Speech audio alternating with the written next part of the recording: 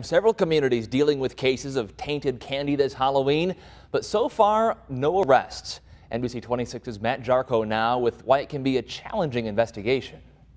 These are the things that just kind of, you know, get to you a little bit. Neenah Mayor Dean Kaufert says police investigating a tainted trick-or-treat candy have talked with the family and gone door to door in the neighborhood. We try to explore exactly what happened. We narrowed down you know, where something uh, may have occurred. So we've gotten as much information as we can for right now. What they don't have is a suspect. You know, if someone is found that they actually did this, they'll be dealt with uh, harshly. In cases like this, making an arrest is no sure thing. It didn't happen last year when Neenah police investigated a similar case. Uh, it's real hard, you know, uh, to, to isolate the, the, the area, um, specific homes, things like that. The mayor says he'll see if the city can do anything differently on future Halloweens but it doesn't mean clearing the streets. I'm not going to be the mayor that bans trick-or-treating in Neenah. So um, parents just have to be careful. City leaders say the best defense this year and in future Halloweens will always be parents checking their children's candy.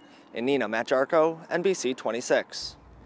And Green Bay police are investigating a needle found inside of a piece of candy. They say they don't expect an arrest in this case unless they get a confession or a great tip.